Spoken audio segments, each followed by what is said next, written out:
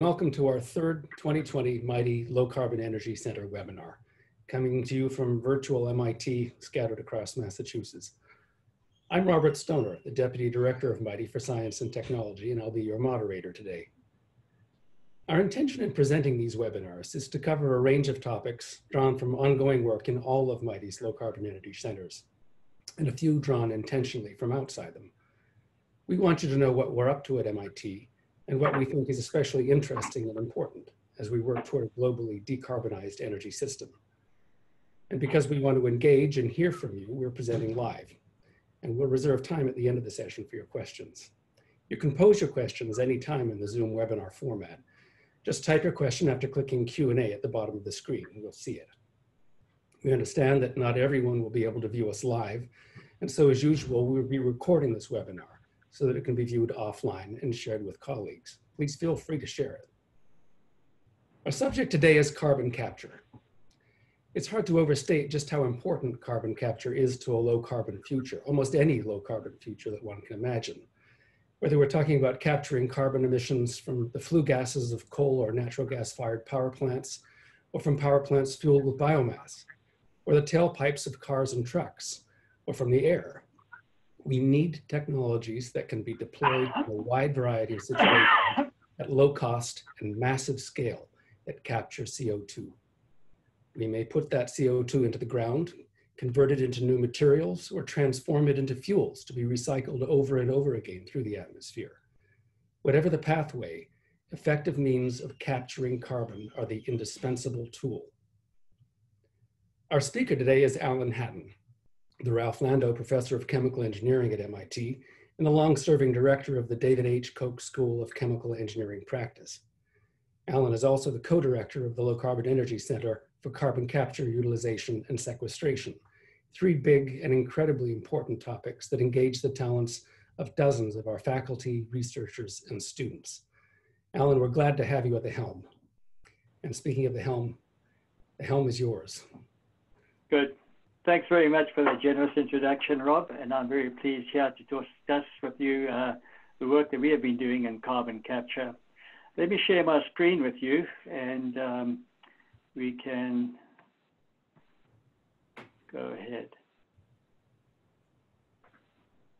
What I'd like to do today is talk to you a little bit about some of the work that we've been doing in the area of carbon capture and some of the new, new uh, techniques and technology that we have been developing. So I don't think it's any surprise to you that uh, we, carbon capture is a really important consideration nowadays because the CO2 emissions and the global temperature uh, changes um, uh, associated with the uh, CO2 emissions have led to dramatic increases in, in temperatures over the uh, over the um, globe over the last 50 years or so. What we have is um, a very strong correlation between the actual temperature rises. It's been the anomaly, temperature anomaly since about 1880 It's gone up by around over two degrees of Celsius, about two degrees Celsius at this point. And this is directly correlated with the amount of CO2 that has been uh, emitted over this, this period and it's been accumulating in the atmosphere. So clearly there's a very strong correlation here. Something was predicted by Arrhenius around 120, 130 years ago and it is uh, still uh, part of our models right now. So the uh, problem we have is CO2 emissions from fossil fuels are a major contributor to the overall uh, CO2 budget in the atmosphere. And indeed, if we look at the United States energy concern, uh, emissions, the energy-related CO2 emissions from fossil fuels is on the order of about six, uh, five to six gigatons per year a significant amount of CO2 that's been going up into the atmosphere because of coal, natural gas, and petroleum type products. If you look at the overall emissions by sector, uh, the, the electricity uh, sector is certainly a significant fraction, but so is the industrial sector, and transportation provides a huge uh, uh, uh um, amount of CO2 that's emitted to the atmosphere. Globally, there's on the order of about 35 to 40 gigatons a year of CO2 that's been emitted. And these, of course, are all accumulated in the atmosphere to a large extent. And uh, it's pretty important that we try and think about ways in which we can mitigate that. The uh, IPCC has, uh, and, and, others have shown that the uh, CO2 emissions as a function of time will continue as we go as business as usual. The CO2 emissions will continue to increase. uh, with time over here. And this would lead by the end turn of the century a temperature rise of about 4 degrees Celsius, which is really unsustainable for human activities and for life on the planet. So there's a lot of interest in terms of how we can abate the, uh, have what kind of abatement technologies, how can we mitigate these CO2 emissions to give us a, a, a opportunity to keep the temperature rise to below 1.5 degrees Celsius. And what this means is that the CO2 emissions should be dramatically reduced over the period over the next uh, 80 years or so. And indeed, at some point, around about 2050 to 2070, we're going to need to have a net zero uh, emissions, which means that uh, we need to be able to remove the CO2 from the atmosphere rather than put it into the atmosphere. The mitigation patterns can, the mitigation here can be achieved through a number of different approaches, and one of which I'll be talking about today is the carbon capture uh, utilization. Fossil fuels are always going to be an important consideration. Uh, we will not get away from fossil fuels completely, although we can reduce the use significantly as we get further and further electrification of our grid and things like that. Um, so we, the, this is a fossil fuel. So this is a net negative amount of emissions we're going to need, and we can do that using uh, net uh, uh ne negative emission technologies. And we'll be talking somewhat about that. Um, the strategy for CO2 mitigation, clearly there's nuclear, there's solar, wind, and hydro, all of which are, are important uh, and are, are developing even further nowadays. And then there's a whole area of carbon capture utilization and storage. So nuclear, solar, wind, hydro, of course, avoid the emissions of CO2 at all, whereas the carbon capture utilization and storage actually try to do something with the CO2 that is being emitted nowadays, and we cannot avoid completely. And we can look at the capture, we can look at utilization, and we can look at storage cap capacities. In addition, this is to take into account what's happening in, uh, in terms of emissions, but we can also look at how can we remove the CO2 from the air directly, and this is where bioenergy with carbon capture and sequestration is of, of interest. There's direct air capture, taking uh, CO2 directly out of the air, and then of course forestation, and these are all uh, removal of the CO2 from the atmosphere. The Carbon Capture Center, our mission in the center is to conduct cutting edge research we want to look at techno-economic assessments, and we want to reduce the cost of carbon capture. We want to enable secure carbon storage operations uh, options and develop carbon utilization opportunities. In my work today, I'm going to be talking a little bit more about the carbon capture side, because that is where my areas of interest have been over the last few years. And in particular, of course, we have uh, the uh, power industry, we have the uh, industrial industry, then we have um, carbon capture, carbon emissions from vehicle transportation. These typically are in the range of about 5 to 15% CO2 in the emissions.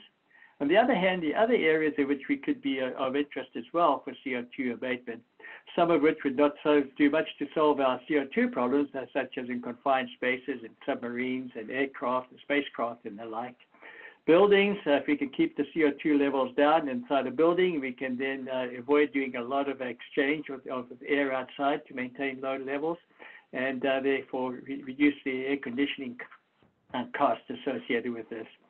And then there's also the whole area of looking at capturing CO2 directly from air at the moment. A number of companies are looking at that right now.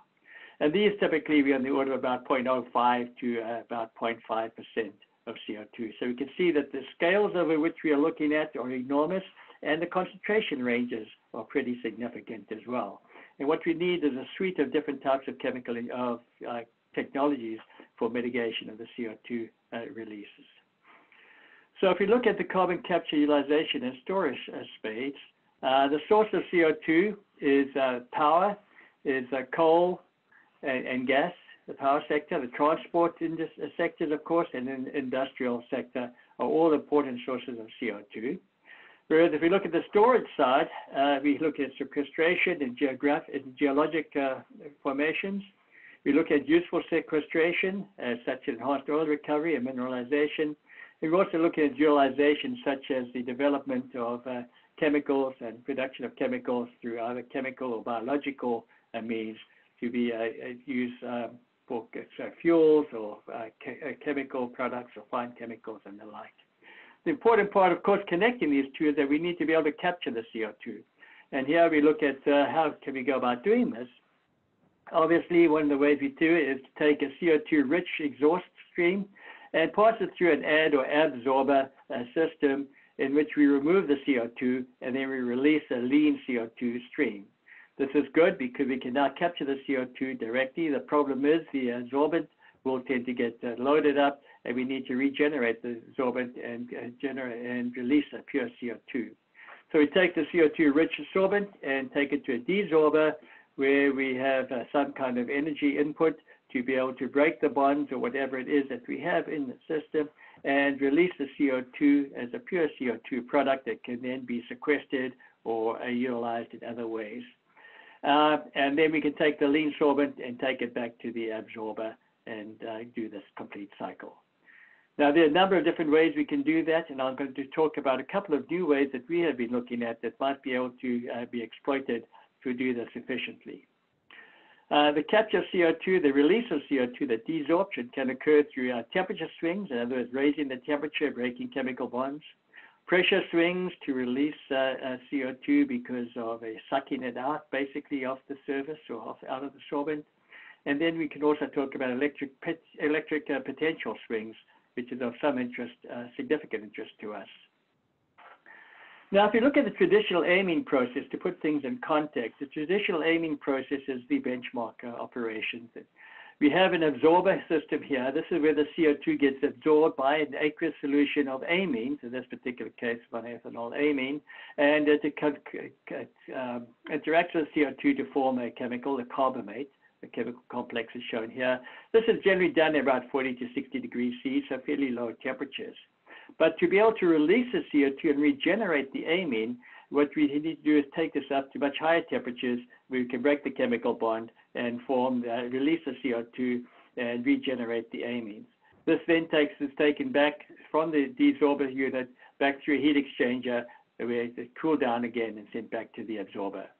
So This whole process is rather energy intensive. It requires significant amounts of steam for the reboiler and the like. And uh, generally, it requires a certain amount of uh, retrofitting and disruption of the steam cycle in a power plant if you want to install it in existing power plants. So we were wondering, are there ways in which we can go about avoiding this uh, huge energy requirement, the steam requirement, and do things under more isothermal conditions, but also with um, using electrical sources uh, which uh, can uh, be from renewable resources as well. So the basic idea we have here is very similar in terms of the absorption side. And we have an absorption column in which we absorb CO2. We have the amines coming in. The CO2 is uh, then uh, captured by the amines to form the carbamate. But the difference is the way in which we regenerate these amines. Instead of sending this to a, a thermally uh, heated up absorption, desorption column, we send this to an electrochemical cell, as shown here, where we've got the, uh, uh, these are copper electrodes. And what we do is when you oxidize the, uh, the copper electrode, we release the cupric ions, and these will complex with the amines very strongly, displacing the CO2. So CO2 comes off now as a pure stream, and we can then release that to disengage that in the flash tank. Then this copper amine complex that we have can now be taken back to the cathode, cathode chamber uh, of the electrochemical cell, where we uh, plate out the copper, and in so doing, we regenerate the amines, and send back can then be sent back to the absorption column. So this is a pretty straightforward process now. And uh, the thing is that the anode chamber really takes the place of the uh, desorber, the thermal desorber, and the cathode chamber is more like the uh, replaces the heat exchanger system that we have. Uh, this process works pretty well. Uh, this is a small bench scale system that we uh, set up in our lab. You can see the desorber here. These are electrochemical cell uh, uh, with the copper electrodes separated by a, membrane. The, two chambers are separated by a membrane. Just to show you how this works, this is the applied current that we apply across that cell, and the, higher the current, the greater the rate at which we release copper uh, ions in solution, and therefore the greater the rate at which we will release CO2. And indeed, as we change the, uh, uh, current passing through the system, we change the amount of CO2 that's being released directly, as shown here. Typically, we can get on the order of 80 to 90% faradaic efficiency uh, for these systems. Obviously, what happens is sometimes the, the well, sometimes the, the cathode, uh, the anode will be uh, corroded and the cathode will grow with time. And at some point, we will need to flip chambers, uh, feed, uh, uh, change the polarity, and feed the, the switch the feed to the different chambers. And this shows you the, the cyclic type operation is rather stable. This is on the order of six hours. We've actually run these on for more than 200 hours now, and we've got very, very stable operation of these systems. So the question is, what are the thermodynamics, energetics of something like this? We can develop the uh, thermodynamic program uh, uh, diagram as shown here. This is the potential versus the standard hydrogen electrode as a function of the amount of copper that's been released relative to the amines in solution. And we start out here, this is coming from the bottom of the absorption column at, at a, a, a, pressure of about 0.13, a fugacity of 0.13 for the uh, CO2. This is at a constant concentration here. We, uh, as we start releasing copper into the system, we also begin to start releasing CO2 and we get uh, at a constant pressure and we get the CO2 loading goes in this case from 0.81 to 0.26 in the system. Then when you get to the end here, um, we take this off to the flash tank and uh, we then re re recirculate the um, CS copper, uh, CO2 lean copper rich solution back to the uh, uh cathode. We begin to reduce it. The concentration is constant the whole time, CO2 now, but as we release, reduce it, we're replacing out the copper and we come back in this cycle. And total energetics are basically given by the um, area under this curve. So that, that gives us the, the minimum thermodynamic uh, penalty. Of course, you have to worry about transport limitations and other kinds of kinetic uh, overpotential required, etc. But once we've gone through and taken consideration of all these different kinds of, of things, such as surface and transport of potential and so on, we can work, uh, develop a, an analysis of the uh, work required to do this, the kilojoules, electrical, electrical equivalent kilojoules per mole of CO2. And we find that we are uh, very competitive with the other uh, systems that are out, the advanced MEA, the thermal EDA, advanced uh, uh, pyridine. Uh, so this shows that basically the concept is a very viable concept in the system. And the economics are also favorable if you look at the cost of electricity. Um, this is for the EMR system, the process we just been talking about with the MEA and NDA and pyridine uh, thing. And we see that we are very, very comparable in terms of these. The overall capture cost is depends on the shift in loading that we have in copper, how much of a capacity do we utilize of our, our system, and uh, if you go between about 40 and 80%, you see that the loadings of the actual capture costs are pretty reasonable depending on the price of the membrane, the cost of the membrane that we have in the system. But that seems very, very promising in this case. So just to summarize then, I've given you a very brief overview here. There's a lot more that's gone into it, in particular in terms of understanding the chemistry associated with these systems, the electrochemistry, and the like. But the advantages of that process that we foresee that for this is it does not need steam and extensive retrofitting, which is a very strong advantage. It's really much of a plug and play type operation. It can be operated isothermally, which is also a significant advantage. We can desorb at pressure to some extent. And if we want to, we can also utilize low grade heat to improve the efficiency, but it's not, not crucial. And it certainly has competitive costs and energy requirements. Now, what we do here is uh, the actual the, the agent that captures the CO2, the amines, um, are not really electrochemically active at all. What we do is we utilize the electrochemistry of copper to add to the amine solution to release the CO2. There are other ways in which we can do this and actually have the chemical reaction, the reagent itself, be uh, electrochemically active, so we don't have to add a second component to the system. And one of these would be looking at quinone type systems. There are a number of different systems we can look at, but this particular case, let's think about the benzo, well, quinone systems in general, as shown here. Typically, these in the dormant state have no capacity for CO2. They're just uh, pretty uh, inactive. We can then, if we go through an electrochemical reduction, add a couple of electrons to this guy, what you'll find is the electrons accumulate on the uh, oxygens here. We've got various highly high electronic densities associated with this, which makes it a very active uh, state for the capture of uh, electrophiles such as CO2, which will form the dicarbonate as shown in this case. So this is a way in which we can then modulate, control the capture of the CO2 by controlling the electronic uh, distribution on the um, on the molecules by uh, reduction. Uh, and then when these are fully loaded, we can regenerate them by oxidizing these again, removing those electrons, oxidizing, going back to the dormant state, which has no particular affinity for CO2 whatsoever, and we can release the CO2 in a flash tank, and release the CO2, and then recycle these uh, systems. The question, how do we actually apply these in, in a case of one, in, in a real system?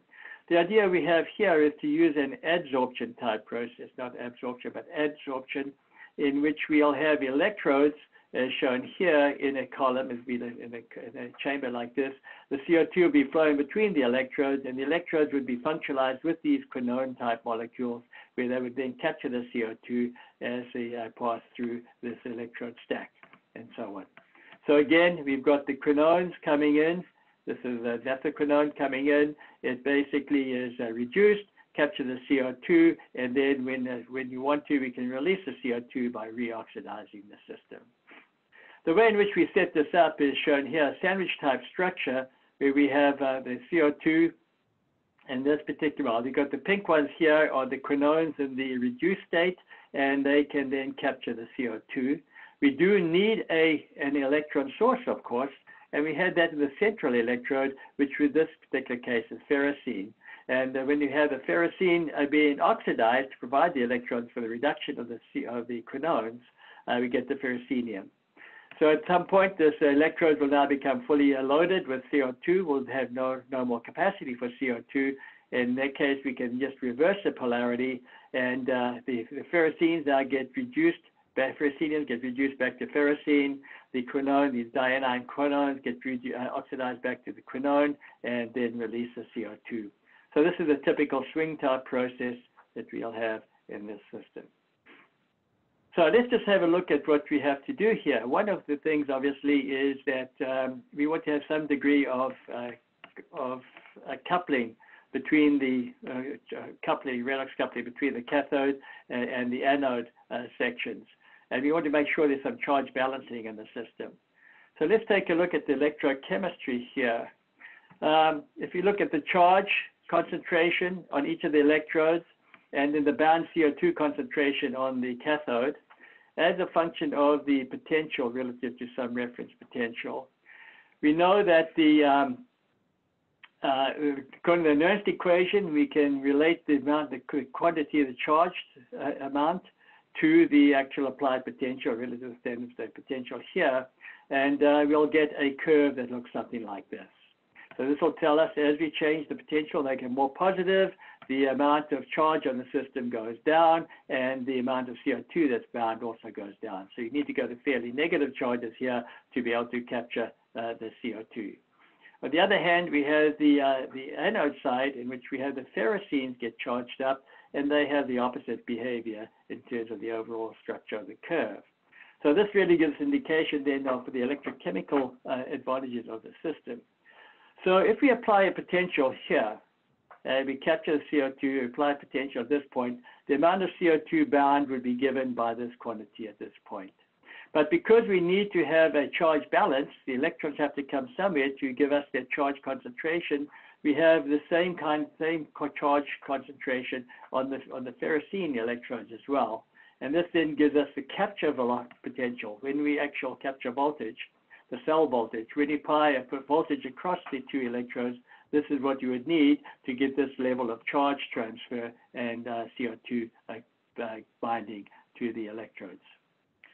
Then when you want to release, of course, we can apply a different voltage. And when you get to a different voltage, we get this would be the voltage that we would require to give us a bound concentration at about this level. So the total concentration swing, you might say, in terms of the uh, the CO2 that's captured and released is given by the difference between these two points over here. So how do we make these electrodes? Well, the easiest way to do them, not the easiest way, but one of the ways is to take the polyvinyl ferrocene as shown here, and we wrap these around carbon nanotubes in solution, and uh, then do drop casting or um, dip coating or things like that to be able to generate the uh, electrodes. This is the, the electrodes, the carbon fiber substrate for the electrodes. These are the actual uh, polyvinyl ferrocene carbon nanotube uh, uh, films are shown here. This scale bar is 200 microns. If you zoom in a little bit closer, we got 400 nanometer scale bar here. You can see it's a very porous structure. You can see all the uh, the um, uh, carbon nanotubes here. These are coated with the ferrocene, so you get very large surface areas and uh, large porosity, which is good from a number of perspectives. The uh, carbon nanotubes themselves ensure strong electronic conductivity. The uh, high porosity facilitates ion ionic conductivity because we have these electrodes uh, imbibed with uh, an ionic liquid. And uh, the large surface area is really makes them readily accessible to adsorbents such as CO2 in this case. We can do the same with the uh, quinone electrodes, a very similar kind of uh, operation. We just uh, do a polymerization of these anthraquinones and um, coat them in the same way and get very similar behavior. Now, the way uh, we some early tests we did were to take the electrodes, and this is the electrode structure. This would be the quinone electrode and a second quinone electrode, and a ferrocene electrode in the center. These are separated by a separator, sandwiched together like this, and then they are moistened with uh, an ionic liquid as the uh, electrolyte for the system. It also acts as a, a shuttle for the uh, CO2, allows the CO2 to be absorbed and then transferred directly to the electrodes themselves. We then take this, this electrode, wind it up, and put it inside a sealed chamber, as shown here. Uh, we wind it up there, have the electrical contacts where we can do, connect the two, two different electrodes, and the sealed chamber is then connected to a pressure transducer where we can measure any changes in pressure because of changes in CO2 concentration in the gas phase. We seal everything up, pressurize this with CO2 at any given concentration, and then uh, flip this, uh, the potential on and off to get an idea of uh, how much CO2 is absorbed. As I say, we measure the, the pressure from the ideal gas law and calculate the amount of CO2 absorbed and therefore uh, determine the effectiveness of this approach. This will show you what happens in this particular case. As we show here, let's just say in this case, we, uh, we going, we going from the oxidized to the reduced state of the quinone and we'll see that when you oxidize, you get little low concentration of CO2 um, uh, on the electrodes, the amount absorbed. And when we go up to the reduced state, it gets absorbed pretty quickly and goes back and forth. And you can see the cyclic efficiency is pretty good in the case like this. So it can go back and forth. We just fluctuated back and forth in terms of the, uh, the um, oxidation reduction potentials.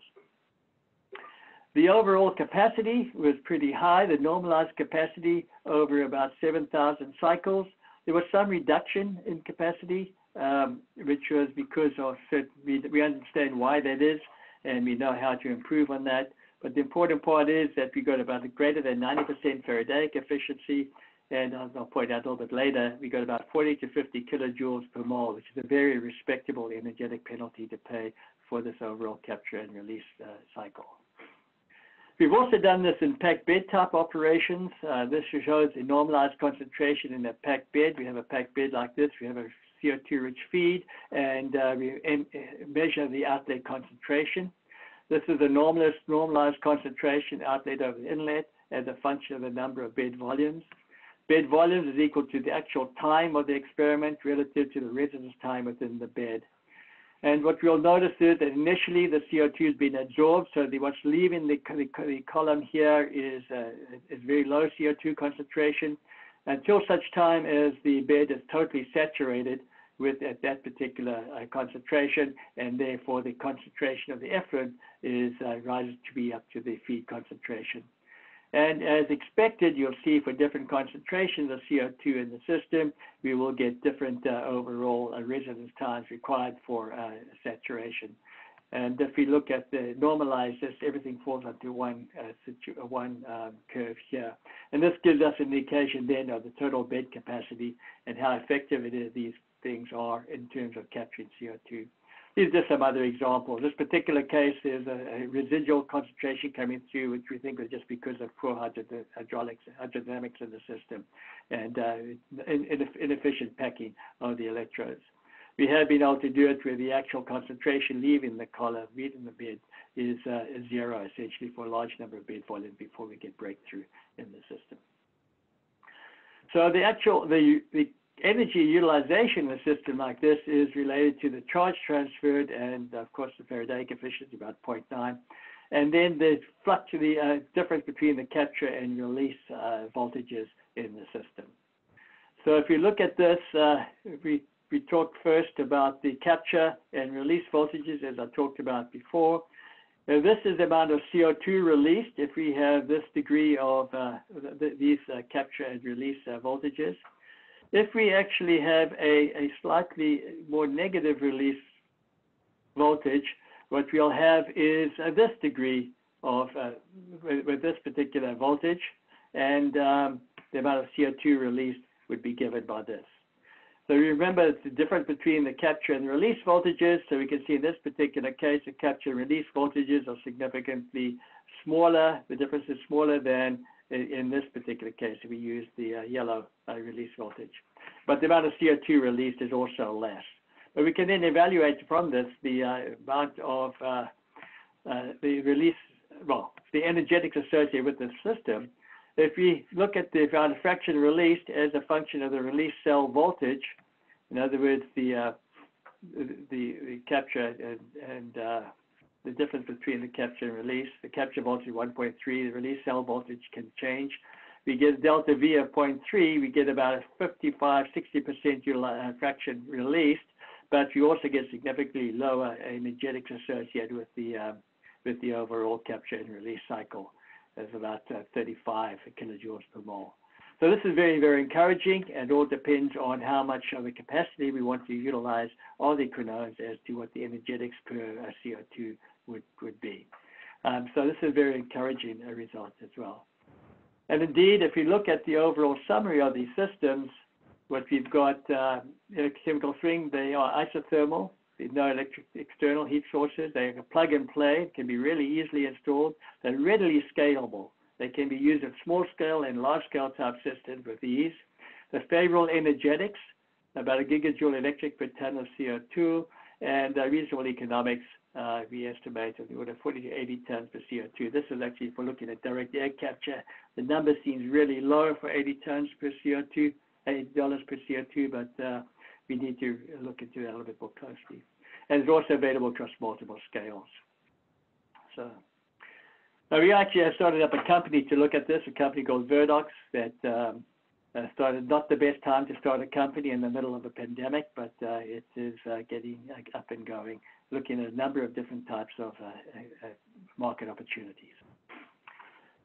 But in the last uh, 10 minutes or so, I'd like to talk to you about another system that we've been looking at and revisit the whole idea of what these uh, different uh, uh capture scenarios might be. We know there are temperature swing. We've talked about chemical solvents such as the amines for temperature swing type operations. There are pressure swing, which I've not talked about. These use physical absorption at high pressure into solvents, but then at low pressure to regenerate the solvents. And then we've talked about our two electrochemical uh, potential swing um, uh, systems here. We have others we've been looking at as well. These are all operated low temperature, ambient temperature. The question is, are we able to operate at high temperature? Or the actual operation in which we might be more advantageous to operate at high temperature, uh, at the temperature which the CO2 uh, is actually produced, rather than having to cool the, the uh, effluent gases down to low temperatures for use in these other systems. So why do we want to use high temperature intermediate temperature capture? If you look at take the fuel and oxidant, this would be the reactor. We take the hot exhaust, we get heat recovery from here, and we then take the cool exhaust, send to the sorber, and uh, we get our CO2 lean, and we get a CO2 product from the desorber. On the other hand, if we switch these and did the absorption and desorption at the high temperatures at which they produced, and then take the hot exhaust gas and hot CO2 going to heat recovery units, we can then get the same product eventually out at the other end. And the reason why this could be of interest to use high temperature recovery is that we get energy content of the fuel coming in here. We get useful energy to extract it from the heat recovery unit. And then uh, some of that energy needs for regeneration, but that is going to be wasted. It's going to be low grade energy that's somewhat wasted at this particular point. On the other hand, if we look at the energy content coming in again, we do the energy for regeneration at the high temperature, and the recovered energy is of, high quality, and it can then be go to the heat recovery unit, and we get useful energy coming out right at the end. Similarly, from the desorber, uh, uh, the, useful energy from both the, uh, the lean exhaust and the CO2 product can both uh, be uh, recovered rather effectively for the system. How do we go about actually exploiting something like this? Uh, but we need, well, we think we might have improved heat recovery, higher efficiency, and lower cost is the holy grail here. The traditional solvents for CO2 capture um, of a very big valley in here, this is CO2 uptake in terms of millimoles per gram as a function of temperature. And these are traditional uh, absorbents that people have been talking about. But we can see there's a very big trough, a very big valley in this region here. And this is the region in which we, we would be most interested in looking. So what we've been doing then is the high temperature or, or intermediate temperature carbon capture uh, for temperature swing, we have been looking at solid oxides. I won't talk about them now, but we have some significant impact, uh, uh, significant results on, on using solid oxides such as magnesium oxide and the like that show some very strong, powerful um, recyclability and um, capacities for these systems. We're also looking at metal oxides at the moment for electrochemical systems, but that is very, very preliminary work, and we don't have much to say on that at the moment. But what we're interested in the um, high temperature systems. This is just showing that we are looking at uh, magnesium oxide, which we've overcome some of the many limitations that people have had in the past by having a molten alkali metal nitrate as a promoter for the CO2 capture and the formation of the magnesium carbonate in this particular case. Uh, we're not the only people, other people have also been looking at this. But the important part is that we are able to operate rather um, stably over many, many cycles as shown here. And what we've done is by having the promoter here, we can actually bring the, the CO2, we can overcome many of the kinetic limitations associated with CO2 capture and bring it up to looking at the equilibrium curve associated with this. We'd be limit, limited by equilibrium rather than uh, kinetics in the system. But what we're interested in again now is other systems that we might be able to use. These are solid oxides that we've talked about in the past. But we also be recognized that we can reuse molten oxide system that can have some significant advantages in terms of being able to uh, be, um, well, we'll show you some of the advantages in a while. Uh, there are two different types of molten oxide we've been looking at. One is a liquid to solid, in which CO2, when it gets captured, it forms solid products. The other liquid to liquid, CO2, when it gets captured, stays as, uh, dissolved in the uh, liquid uh, as molten oxides. These, these molten solvents have good advantages in terms of reactivity with rapid kinetic stability and uh, able to remove contaminants simultaneously and uh, be able to separate them, such as SOx and NOx. They can operate under isothermal conditions or pressure swings, uh, isothermal conditions with uh, isothermal pressure swings, and they can also be uh, highly efficient uh, in use of reaction and absorption enhanced designs. Just to show you quickly some results in these, this is a liquid to solid type system. This is the loading as a function of time when we challenge these uh, solvents with that. And you'll see that depending on the concentration, whatever happens, there's always this little knee that's coming in here. We get a fairly quick absorption rate and then a bit of a knee. And at this particular point, the solvent is becoming saturated with uh, CO2, but you're also getting nucleation and formation of particles as shown here.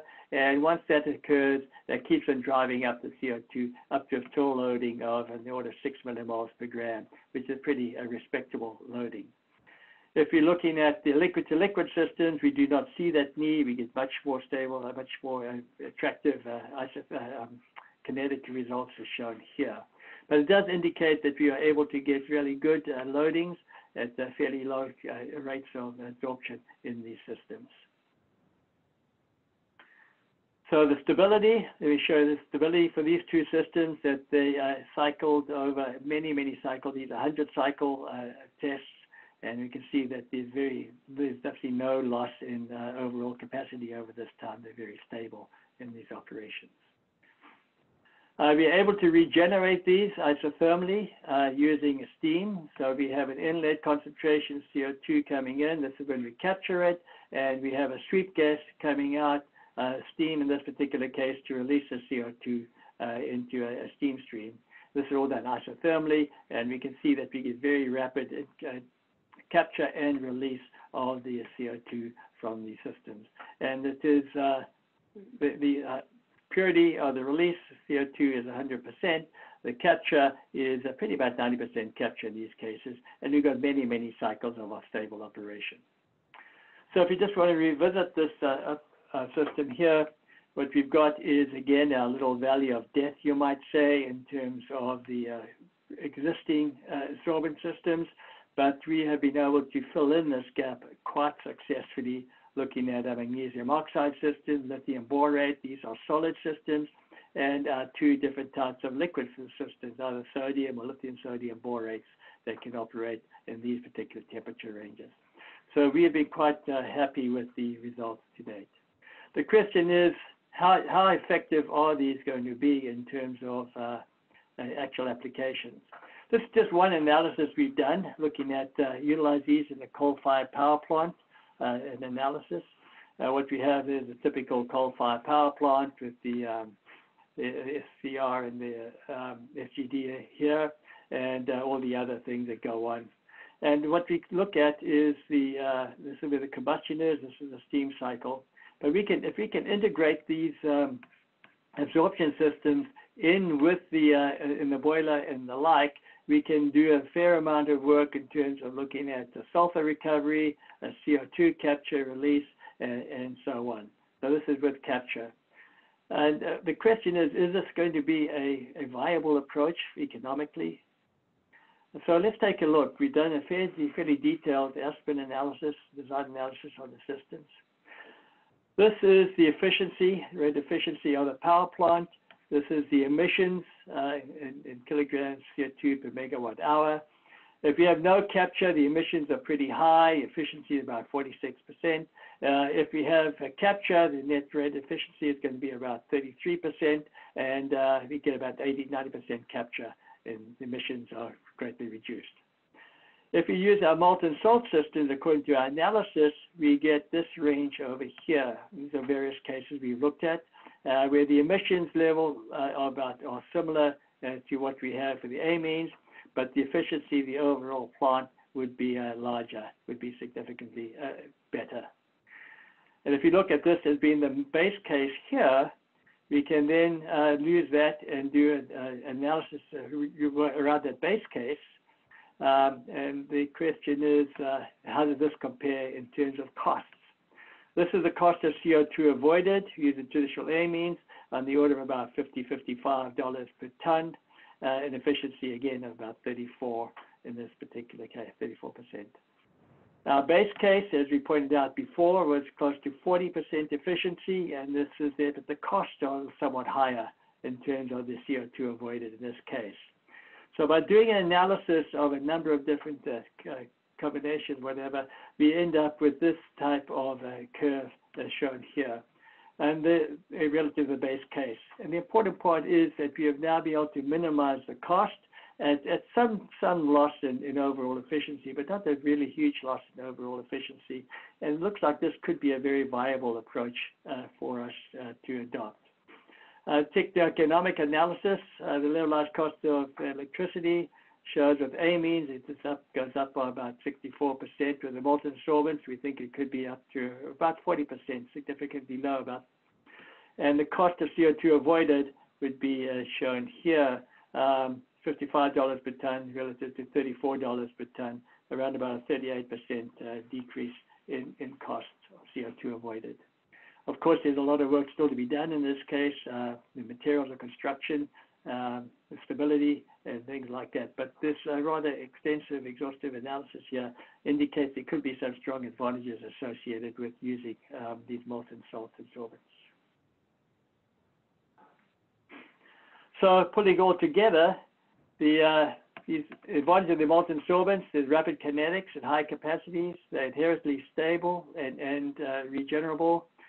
They are they uh, can co-capture other gases if needed. Uh, can be regenerated by a pressure swing or also temperature swing, depending on how we want to go about doing it. And the high temperatures can lead to improved heat recovery in these systems. So to summarize, we've looked at a range of different op options here for new technologies for CO2 capture. Uh, primary area has been in redox active species, chemically mediated systems, um, in which we looked at a number of different approaches. I just described two today that look promising for overall CO2 capture. We also have uh, solid oxide, which I've not really talked about. Um, and then what we have introduced very recently are these molten salts uh, as, uh, as absorbent. Last part about the molten salts is that we can then consider combining the the uh, uh, the um, advantages of uh, continuous type processing. So we can have the uh, the absorbent going from the absorber to the desorber in a continuous way. So we do not have to worry about the normal switching and the cyclic swings that one needs with solid phase adsorbent systems. So with that, I'd like to thank you, and I certainly would like to acknowledge the students that and postdocs that have done the work on the, over the last uh, five to 10 years or so. Mike Stern uh, developed the EMAR process uh, that has been really greatly improved by the others shown here, and uh, Sahag Voskian was very much involved with the um, uh, electrochemical system. And I do not have Cameron Halliday here. Cameron Halliday and Takuya Harada, I forgot to put them on are two that worked very extensively on the molten salts and have brought it to the point where I think it's actually a, a very viable approach. So with that, I'd like to thank you for your attention, and I'd be happy to try and answer any questions you might have. Thank you. Thank you, Alan. Uh, there are a couple of questions that have come in, um, which which we'll get to, um, and maybe we should start with those. And, and they're rather specific, but we can move maybe to more uh, general questions. I don't know if you can see them, Alan. If not, I'm happy to read them. I'm trying to get my stop share here. There we are. uh, questions. The first relates to NOx and SOx impact on quinone absorption. Okay, that's a, a very good question. Um, NOx and SOx. We haven't done much work with NOx, but we have done a fair amount of work with SOx. Um, obviously the SOx are going to bind quite strongly to the quinones. And uh, if you've got a low concentration of SOx, they can be absorbed and we can tolerate that for a while until the uh, enough of the quinone has been poisoned. There's not we're losing significant capacity for CO2. At that point, we can just uh, take it to a much higher oxidation state and release the SOx in a separate, we can take it, take it offline and release the SOx. Alternatively, this is something we have shown, although we haven't published this yet, um, we can actually alter the quinones themselves to make them much less uh, basic. And um, so they will absorb the SOx quite effectively without actually taking up the CO2. So I think that's a really important consideration in this case.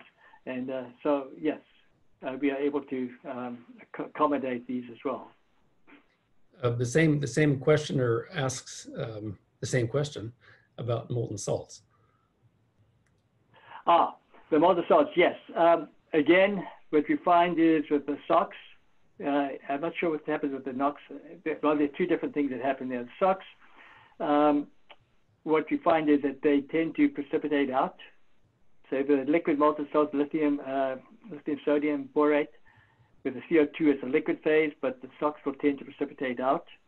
So one can, in principle, then take that off and have a purge stream to uh, uh, capture to regenerate the SOx side. And uh, it just that can be accommodated. The NOx, we have a different situation, and the NOx actually end up going in there, and we end up getting volatilization, um, and, and we can lose some of the sorbent. So that could be a bit of a problem that we need to address still. Does, does, does that, the potential for, for taking up SOx and NOx in the same reactor uh, mean that if a, if a plant didn't uh, have, have uh, SOx and NOx abatement equipment attached to it already, as it might not in many developing countries, that, that this becomes a way to provide both and, and therefore to lower the cost of, of scrubbing all the gases, including CO2?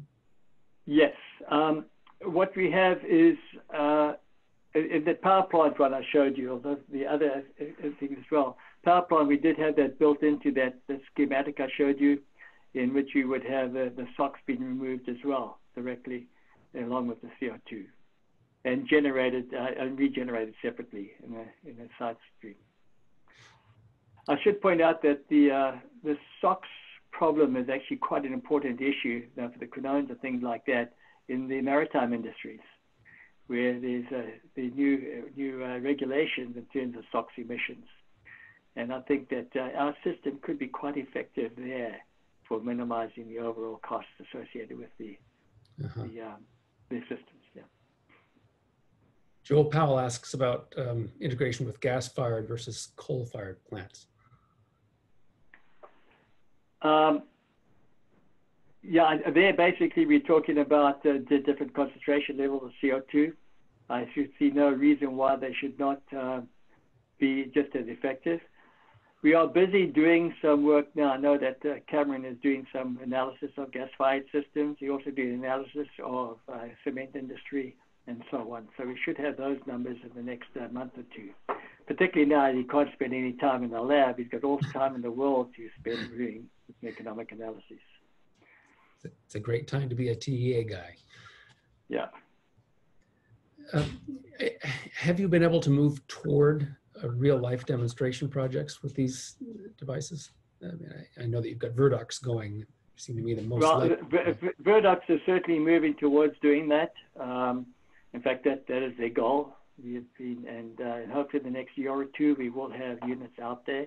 Small units initially, uh, for, for not necessarily for looking at uh, the large scale mitigation, but certainly for some direct air capture and then utilizing the CO2 there for uh, various things like greenhouses and things like that. Very good demonstration units. But we will uh, hopefully in the next few years be in a position where we can sort of do some very large scale type operations too. As far as the EMAR process is concerned, we have been working with a company in terms of developing, assessing whether this would be something they'd want to put on, on board uh, on one of their um, pilot plant facilities.